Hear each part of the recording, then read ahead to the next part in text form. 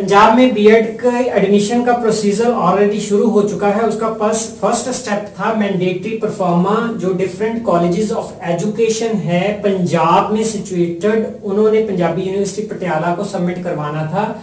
Total Punjabi university Patiala के 91 colleges हैं जो ये परफॉर्मा जमा करवा सके हैं। दो कॉलेज नहीं करवा सके। पंजाब यूनिवर्सिटी चंडीगढ़ के 61 कॉलेजेस हैं। एक कॉलेज मैंडेटरी परफॉर्मा नहीं जमा करवा सका। गुरु नानक देव यूनिवर्सिटी के 51 कॉलेज हैं, सभी कॉलेजेस ने ये परफॉर्मा जमा करवा दिया है। अब ये टोटल कॉलेजेस में एडमिशन का नेक्स्ट सेकंड स्टेप जो कि कैंडिडेट्स की रजिस्ट्रेशन होनी है, वो शुरू हो चुका है। ये पोर्टल खुल गया है। पंजाबी यूनिवर्सिटी पटियाला ने आज 10 सितंबर को इसे ओपन किया है। तो इसमें इंपॉर्टेंट डेट्स आप देख सकते हो कौन कौन सी हैं। इंपॉर्टेंट डेट्स कैंडिडेट की रजिस्ट्रेशन जो आज से शुरू है 10 सितंबर से। ऑनलाइन यहाँ भी मैं प्रोसीजर बताता हूँ, कैसे आपने रजिस्ट्रेशन करनी है।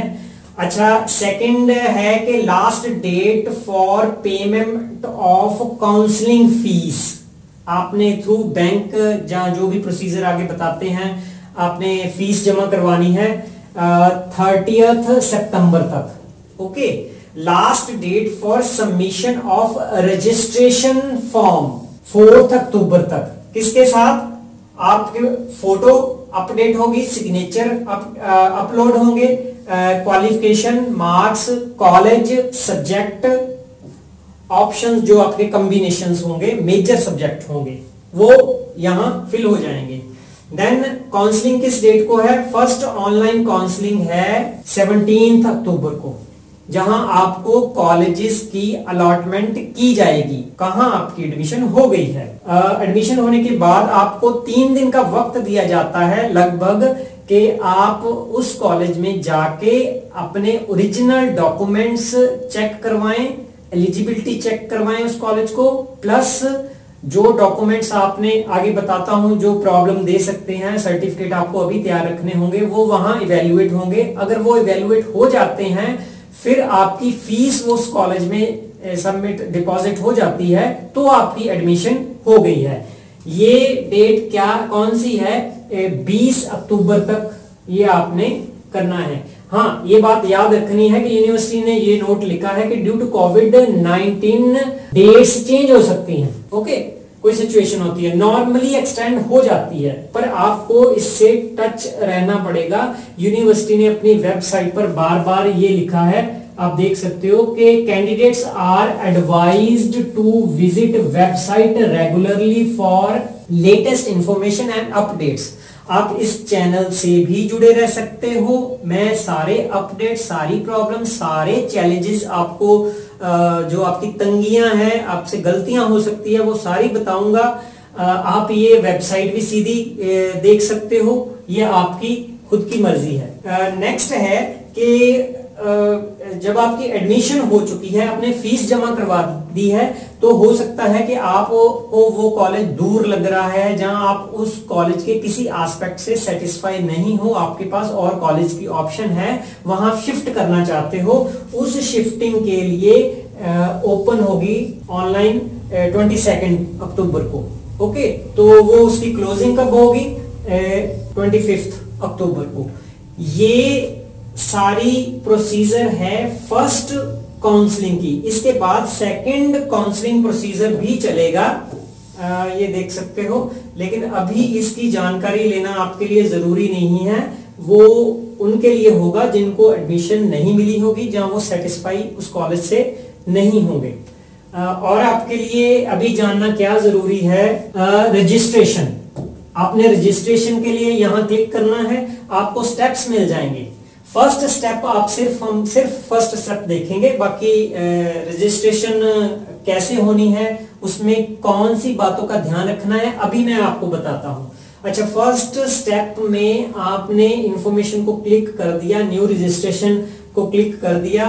वो क्लिक करने के बाद आप नेक्स्ट आपके लिए वो रजिस्ट्रेशन इंफॉर्मेशन सारी पेज खुल जाएगा। ओके वहाँ अभी हम देखते हैं। तो कैंडिडेट को अपनी personal detail name father's name date of birth gender okay ये सारी फिल करनी होगी। In addition to choose Punjab हाँ आपने कोटा सेलेक्ट करना है कि आपके पास रेजिडेंस डोमिसाइल पंजाब का है तो आप 85 परसेंट का कोटा सिलेक्ट करोगे। अगर नहीं है तो 15 परसेंट का कोटा अगर आप बाहर नॉन पंजाब के हो आपके पास डोमिसाइल सर्टिफिकेट चाहिए भी मैं आगे जाके भी बताता हूँ। अच्छा रूरल अर्बन इसकी थोड़ी प्रॉब्लम होती है कि रेजिडेंस ये अलग मीनिंग है इसका, इसकी रिजर्वेशन होती है अलग, जाके बताता हूँ।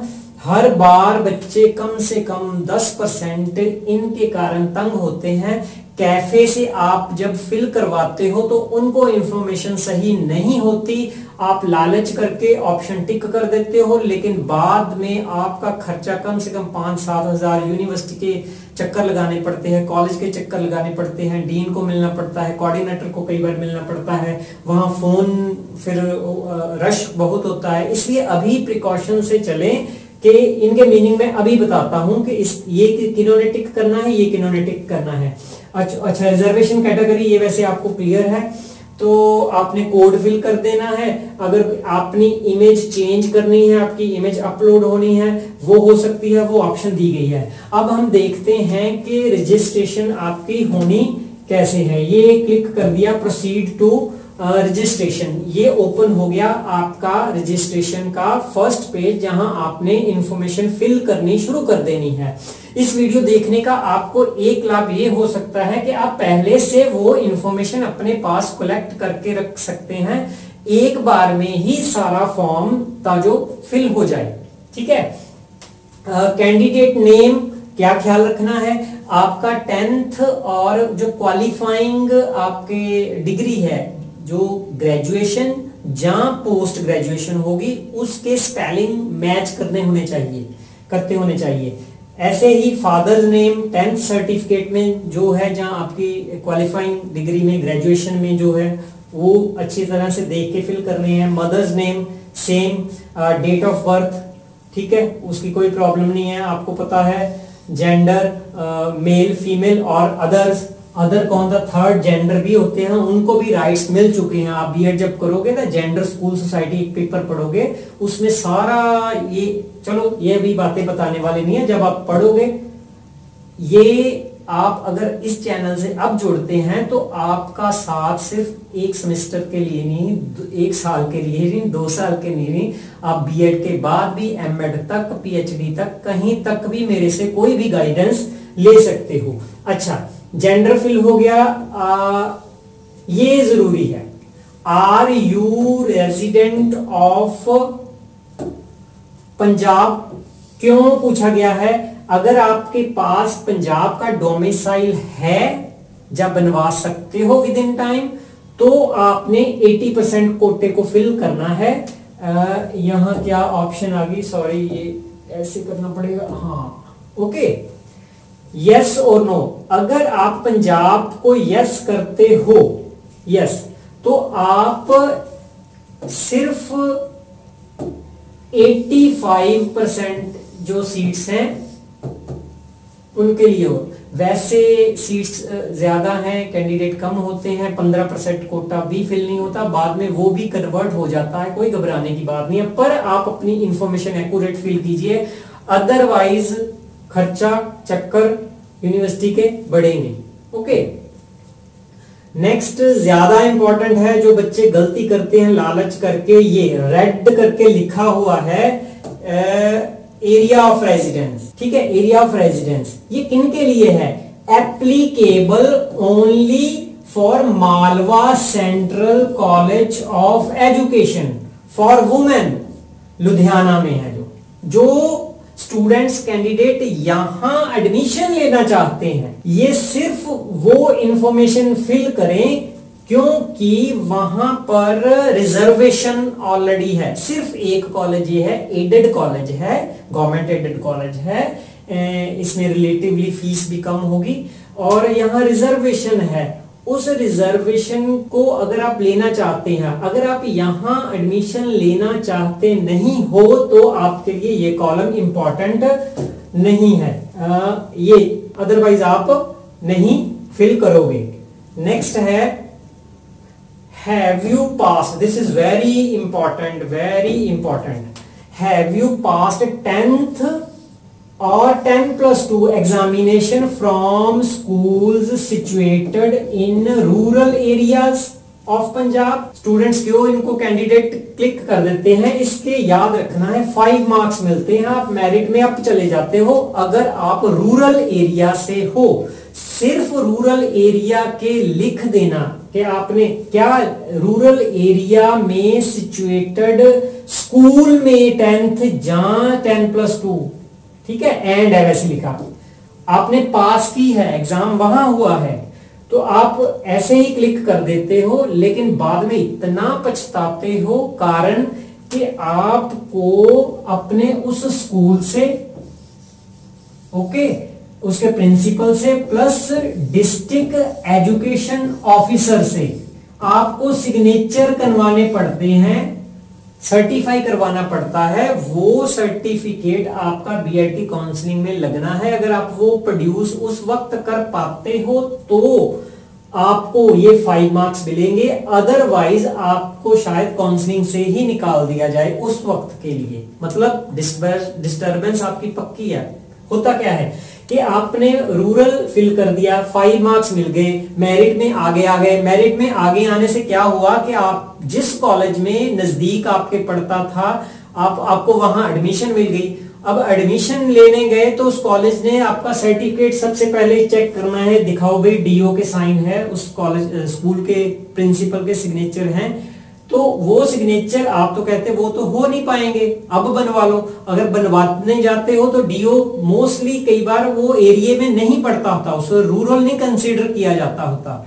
तो डीओ साइन नहीं करता तो आपका प्रोसीजर ये भी गया और आपकी मेरिट जो थी आप फ़र्स्ट काउंसलिंग से लगभग बाहर हो जाते हो। सो so, प्लीज़ अगर आप ये सर्टिफिकेट पहले बनवा लो जहाँ डीईओ से अपने स्कूल से इंफॉर्मेशन ले लो कि मेरा स्कूल क्या रूरल एरिया में आता है, जहाँ मैंने टेंथ और प्लस टू का एग्ज़ाम दिया है? ये वेरी इंपॉर्टेंट है। नेक्स्ट है कैटेगरी इसमें कोई प्रॉब्लम नहीं है। हाँ एक है कि आपके पास वो सर्टिफिकेट चाहिए जिस कैटेगरी का आपने बेनिफिट लेना है। अगर आपके पास वो नहीं है फॉर एग्ज़ाम्पल बैकवर्ड क्लास का ओबीसी का है नहीं है तो भी सेम प्रॉब्लम जो पिछली प्रॉब्लम बताई है, वैसे ही प्रॉब्लम आएगी, उस कॉलेज ने डॉक्यूमेंट वेरीफाई करने हैं। आप वहाँ तंग हो गए आप टाइम मनी एनर्जी तीनों, तीन गुना लगेंगे। ओके नेक्स्ट इज़ अच्छा अगर ये तो आपका वो हो गया कि कोड जो है, जो भी आपने रखना है कोड प्लीज़ प्लीज़ कहीं नोट करके रखिए कॉलेजेस ऑफ़ एजुकेशन जहाँ जिस कॉलेज में आप एडमिशन लेना चाहते हो जहाँ रेजिडेंस के आपके करीब जो कॉलेज है वहाँ हेल्प डेस्क बनता है। उन टीचर एजुकेटर को बहुत फुल नॉलेज होती है क्योंकि साथ साथ में यूनिवर्सिटी उनको अपडेट करती है। अगर आप कै, कैफ़े वाले के पास जाते हो मैं नहीं ये कहता कि कैफ़े वाले के पास ना जाओ लेकिन इंफॉर्मेशन आप अपडेट करके लेके जाओ। कैफ़े वाले ने पचास सौ जितने भी पैसे लेते हैं मैं उनका भी वो खराब नहीं करना चाहता। तो वो उनके पास अगर ये इंफॉर्मेशन नहीं हाँ ये वीडियो देख के आप वीडियो से वो देख सकते हैं कि कैसे। आप कमेंट बॉक्स में अपनी प्रॉब्लम लिख सकते हो साथ साथ में मैं आपको अपडेट करता रहूँगा ताकि आपको ये प्रॉब्लम ना आए कोई भी। ओके? okay, ये तो थी कैंडिडेट की रजिस्ट्रेशन जो आपने करनी है उसकी इनिशियल बेसिक आपको प्रॉब्लम ना आए। सेकंड इंफॉर्मेशन जो आपको ज़रूर चाहिए वो है इंफॉर्मेशन अबाउट बीएड कॉलेजेस आप जिस एरिया में रहते हो जहाँ आप जिस एरिया जिस कॉलेज को प्रेफर कर रहे हो उस कॉलेज की आपने इंफॉर्मेशन लेनी है। वैसे आगे जाके जब फॉर्म फिल करोगे आपको 10-10 कॉलेज भी फिल करने प्रेफरेंस में हो सकते हैं। अगर पहले में मिल, नहीं मिलती तो सेकंड कौन सा? वहाँ गाइडेंस की ज़रूरत होगी तब आपको गाइड कर दूँगा।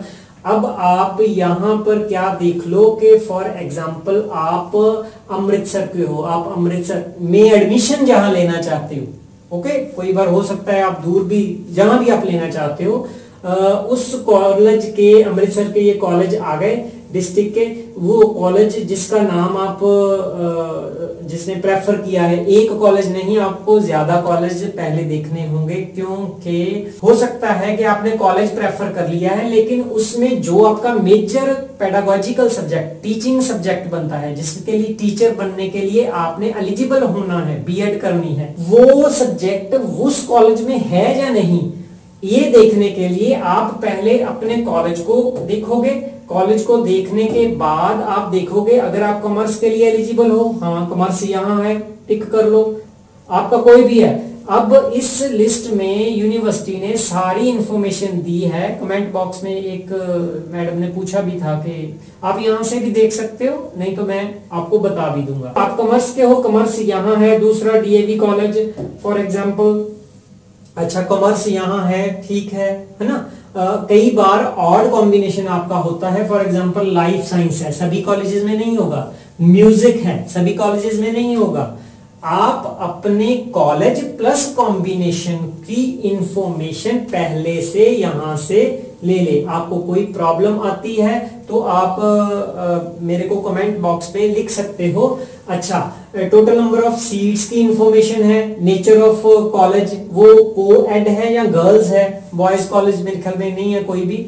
गर्ल्स या को एड ही हैं। ये आपको, आप ही खुद ही इवेलुएट करना होगा कि कौन से पाँच, सात कॉलेज हैं जिनमें को मैं प्रेफर करती हूँ। वो, उन प्रेफरेंस में से क्या मेरा कॉम्बिनेशन सब्जेक्ट का उसमें है? और प्लस क्या, अगर आप लड़के हो, वो गर्ल्स कॉलेज है? ये भी। ये तीन इंफॉर्मेशन आपको अभी से फाइनल कर लेनी चाहिए। अच्छा इसके अलावा वेबसाइट पर पंजाबी यूनिवर्सिटी ने आपको अगर कोई प्रॉब्लम आती है प्रॉब्लम दो तरह की हो सकती है। एक तो आपको फॉर्म अपलोड करने में कोई आ सकती है, आपके फ़ीस डिपॉजिट नहीं हो रही। टेक्निकल क्वारीज हैं आपकी, वो नहीं पता चलती तो आपको ये नंबर दिया गया है, आप नोट कर सकते हो। 10 से 4 बजे तक आप यहाँ बात कर सकते हो। दूसरा है, जनरल क्वारीज है कोई, उसके लिए 10 से 4 बजे तक का टाइम है, नंबर ये वाले दिए गए हैं।